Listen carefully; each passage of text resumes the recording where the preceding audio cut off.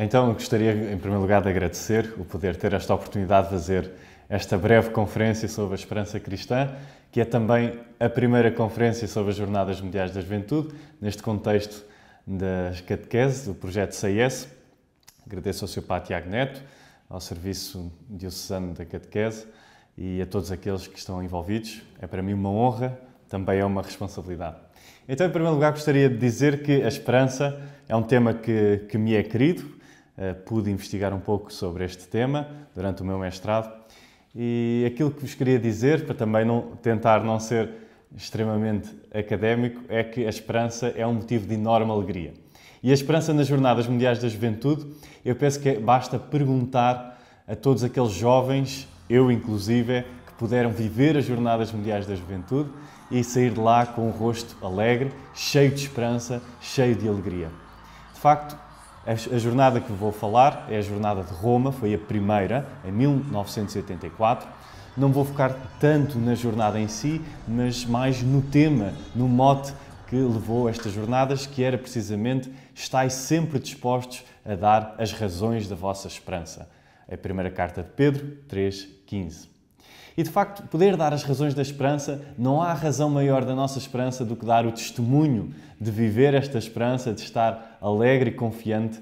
E aquilo que se viu, nesta jornada, que correu tão bem, que deu início ao ciclo das jornadas, porque o Papa João Paulo II, para ele ainda não era claro exatamente o que é que iria fazer com este tipo de jornada, mas tornou-se claro quando ele viu que correu tão bem e que havia tanta esperança e tanta alegria entre os jovens.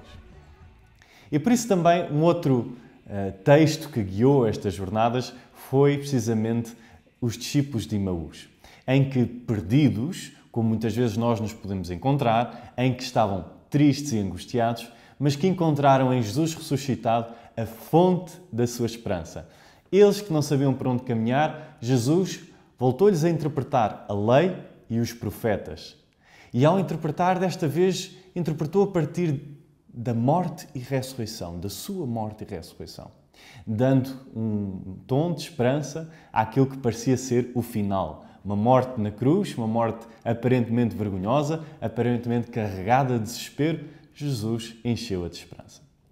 E vejam, a esperança de facto é algo de extraordinário.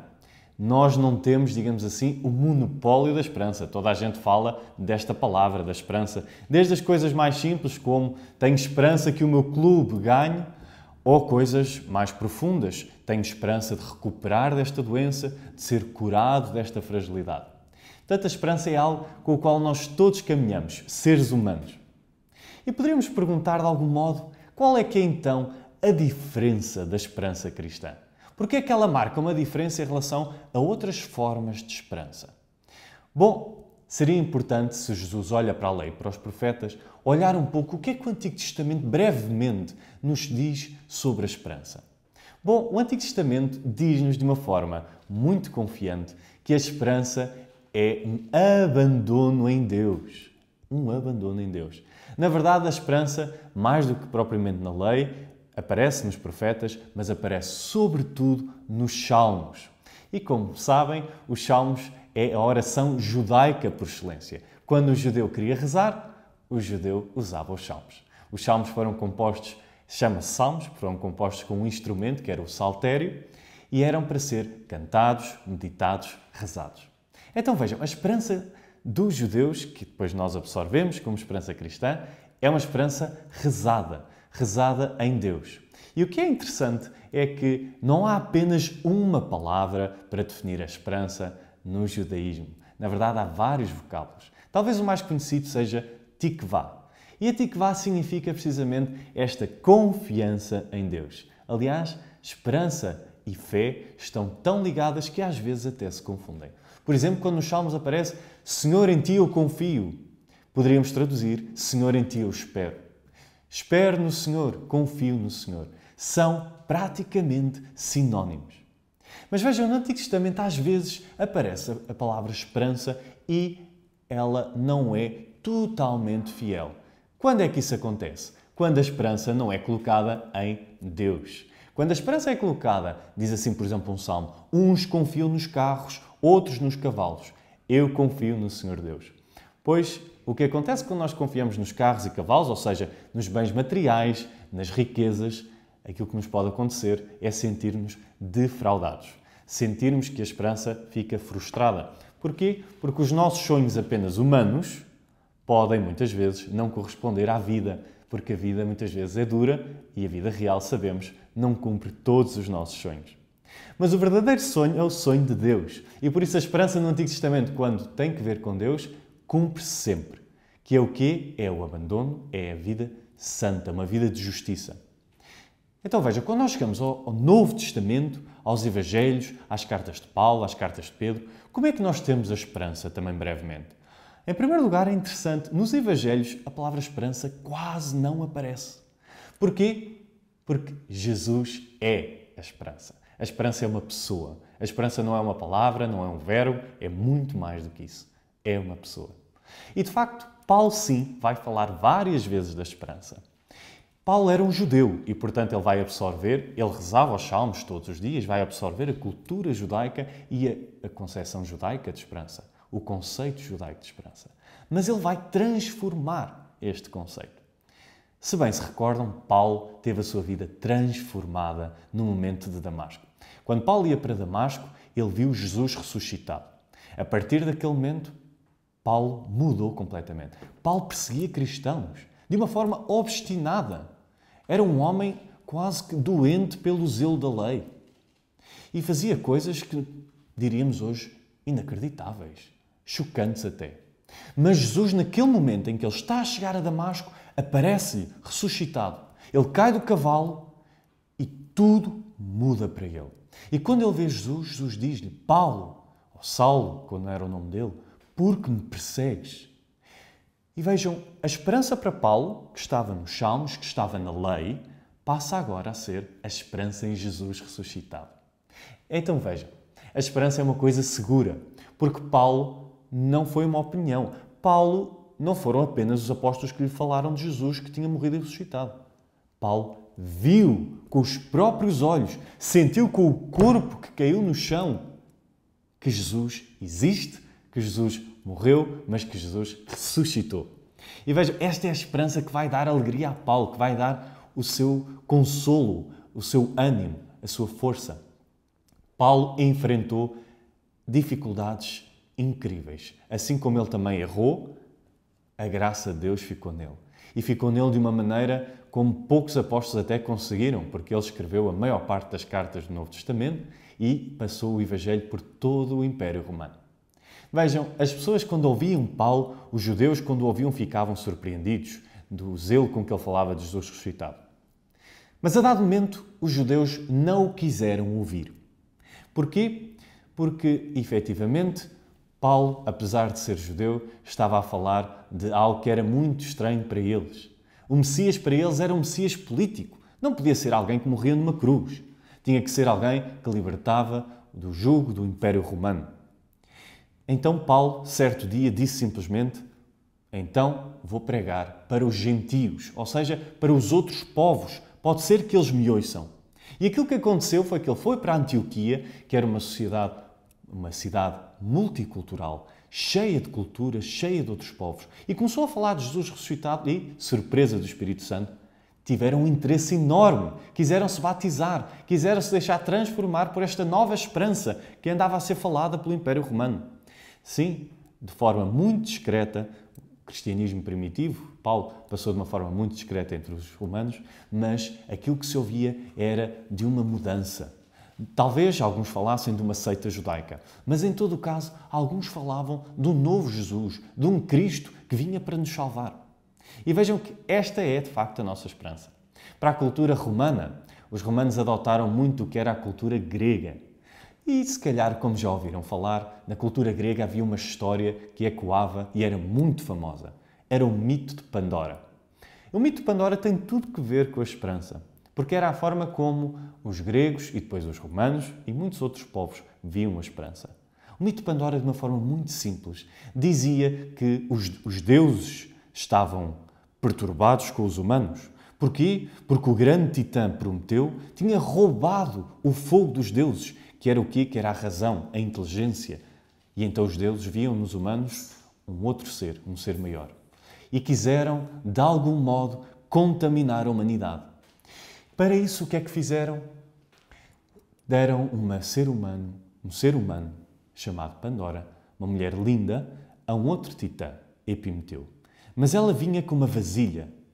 E nessa vasilha, ele apaixona-se por ela e abrem a vasilha, continha todos os males do mundo. Quando eles veem que os males estão a sair, tapam a vasilha. Mas, tarde demais, já tinham saído os males, mas curiosamente ficou uma coisa apenas naquela vasilha. O quê? A esperança. Então vejam uma coisa: a esperança era uma coisa boa ou má para a maior parte das pessoas? Bom, não é muito claro, porque se aquela vasilha tinha todos os males do mundo, a esperança devia ser um mal. Por outro lado, se a vasilha ficou fechada, parece que se calhar a esperança ficou contida e é uma coisa boa. Então vejam, para a maior parte das pessoas a esperança não era uma coisa certa. Havia um grande poeta que era o Píndaro, ele falava sobre as Olimpíadas. E uma das coisas que ele dizia é que os atletas que corriam nas Olimpíadas e que faziam os vários exercícios precisavam da esperança. A esperança era o que os motivava a superarem-se. Mas o Píndaro também dizia alguns atletas enlouqueciam. Porquê? Porque queriam de tal modo superar-se que viam-se frustrados quando havia alguém melhor. Vejam, para eles a esperança não era uma coisa certa, era uma coisa ambígua. Às vezes boa, porque era precisa para nos motivar, outras vezes má. Para nós, para Paulo, para a Igreja, a esperança é sempre uma coisa boa, porque a esperança é em Jesus ressuscitado. A esperança não está apenas nas coisas do mundo, a esperança é algo muito maior. Vejam, um filósofo atual, Byung-Chul Han, dizia assim, diz assim, a depressão é a grande epidemia do século XXI. E também afeta os jovens. Os jovens que devem ser testemunhos de alegria, os jovens que devem ser testemunhos de Jesus ressuscitado, muitos começamos a ver andam desanimados, andam tristes, andam cansados. E não apenas os jovens. Porquê? De facto, a depressão está associada e tudo o que é frustração à falta de esperança. Falta-nos a esperança. É preciso voltar a falar de esperança. E de uma esperança que não está apenas nas coisas do mundo. Porque se alguém desejava muito ser astronauta, ou desejava muito ser médico, ou desejava muito viajar pelo mundo todo e não conseguiu e vê-se frustrado porque era a única esperança, pois então pode ficar deprimido. Porque aí a esperança, as coisas do mundo, tem a ver com as expectativas. Os jovens são sonhadores, estão cheios de expectativas. O que é que nós temos que os ajudar a compreender? Temos que os ajudar a compreender que as expectativas aqui no mundo são passageiras. São boas. É bom desejar servir os outros, é bom desejar coisas boas, mas não pode ser a nossa esperança última. Não pode ser a nossa confiança última. A nossa confiança última tem que estar sempre em Jesus. Então, quais é que são as razões da nossa fé? Olhem, as razões da nossa fé é ver alguém que transforma a nossa vida. João Paulo II, na sua santidade, foi para nós um motivo de esperança, um motivo de fé. Vejam, Madre Teresa de Calcutá, os grandes santos são para nós um motivo de alegria e de esperança. Eles são a verdadeira razão da nossa fé, a razão da nossa esperança. Então vejam, quando Jesus nos vem dizer e quando temos neste episódio dos discípulos de Maús que vem Jesus a partir o pão, ele vem nos dizer que ele é a verdadeira esperança que fica no pão, na igreja, nos sacramentos. Jesus continua vivo. Continua vivo nos sacramentos, na Eucaristia, na missão, na oração. Lembrem-se dos Salmos. Os Salmos era a fonte de esperança dos judeus e podem continuar a ser. É na oração que nós ganhamos esperança. Porquê? Porque a oração aumenta o nosso coração, aumenta o nosso desejo de amar a Deus, aumenta a nossa força, a nossa coragem, a nossa determinação. Vejam, para nós hoje, as razões da nossa esperança não são tanto razões cerebrais, no sentido de arranjar muitos motivos para provar a existência de Deus, que é impossível porque Deus nos supera, mas sim ver a santidade. O Papa Francisco tem-nos falado muitas vezes da santidade. Ele publicou a sua exortação, Gaudate Exultate, em que ele diz que a santidade hoje é continuamente necessária. E um, dois perigos que ele aponta são os seguintes o gnosticismo, ou neognosticismo, que é o quê? Que é a pessoa saber muitas coisas sobre Jesus, muitas coisas sobre a Bíblia, muitas coisas sobre teologia, mas será que vive aquilo que sabe? Mas já que acha que isso é a segurança da sua salvação? Olhem, para nós é importante saber muita coisa sobre Jesus, mas é importante porque queremos saber Jesus porque o amamos e não tanto apenas por uma curiosidade intelectual. E o outro perigo, diz o Papa, tem também uma palavra assim, cara, pelagianismo ou neopelagianismo, que é o quê? De uma forma simples, é o querer ser santo apenas com as minhas forças. Eu cá vou-me portar muito bem, não parto um copo, não sujo um prato, sou impecável. Bom, isso não é santidade. Isso é apenas um esforço humano. A verdadeira santidade é a alegria de ser salvo por Jesus. É a graça que nos salva. Não somos nós que nos salvamos. Claro que é importante e é necessário o nosso esforço a essa graça. Aliás, os nossos jovens têm que ser motivados a poder esforçar-se a seguir nosso Senhor Jesus Cristo. Mas também o Papa Francisco diz, numa outra carta, Cristo vive, Cristo vive, precisamente aos jovens, que muitas vezes os jovens sentem-se frustrados ou desanimados. Porquê? Porque num mundo tão diferente, num mundo muitas vezes com valores tão contrários ao Evangelho, veem que é muito difícil seguir Jesus. E alguns dizem mesmo, bom, não é possível. A esperança cristã eu não a consigo seguir, porque eu não consigo estar ao nível. Irmãos, Jesus vem para nos salvar. Jesus é que salva. E portanto é importante dizer aos jovens: olhem, confiem em Deus, continuem a caminhar. O importante é nunca desistir. Os apóstolos não eram perfeitos, estavam cheios de defeitos, todos eles. Paulo perseguia cristãos. Pedro negou Jesus três vezes, à boca cheia, à frente dos porteiros. E Jesus o que é que lhes fez? Perdoou-os. O perdão é tão ou mais importante que o amor. É uma forma do amor. É se calhar a forma última do amor. E então a nossa esperança é também a esperança de ser perdoados. Nas Jornadas Mundiais da Juventude, aquelas que eu pude viver, foi as de Madrid, as de Cracóvia, vi a alegria do perdão, de ver aqueles que olhavam para o Papa, aqueles que olhavam à volta e viam uma multidão de gente a seguir Jesus e viam que podiam ser perdoados. Não há dúvida nenhuma que o sacramento da confissão é dos sacramentos mais importantes e daqueles que está mais presente nas jornadas. Vários jovens se confessam durante as jornadas e muitos jovens comungam e têm a força dos sacramentos. Essa é a nossa esperança. A esperança de que, apesar das nossas fragilidades, Deus vencerá sempre. Esta é a maior esperança.